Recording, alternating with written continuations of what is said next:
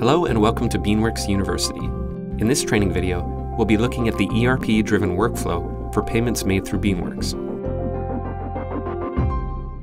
This workflow applies for ERPs such as Sage 50 Canada, Jonas, and custom integrations, where your ERP relays to Beanworks which invoices to pay. If you're not sure which payment workflow you have, please email our support team at support at beanworks.com and they'll guide you as to which workflow applies to you. In this workflow, once your invoices are imported into your ERP from Beanworks, you then select the invoices within your ERP you want to pay through Beanworks. You can then send that data to us through a sync of data between your ERP and Beanworks.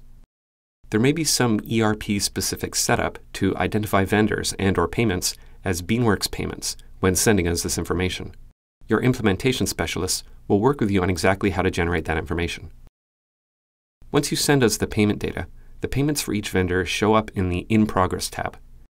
Invoices will be listed under each payment. This happens automatically and there are no manual steps required.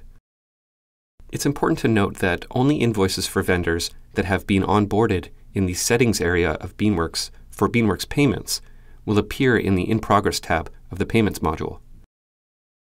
The payments go through the standard Beanworks payment workflow of being submitted for approval, approved, and released.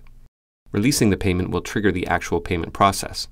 Once the Beanworks payments are completed and the money has moved, they will be in the Paid tab in Paid or PD status. Paid payments finish their workflow by being selected in the Paid tab, and a member of the accounting team presses the Archive button. It moves them to the Completed status under the Archive tab. All right, this concludes our overview of the ERP-driven payments workflow. Thank you for taking the time to watch this video. If you have any questions, please contact Beanworks support by emailing support at beanworks.com.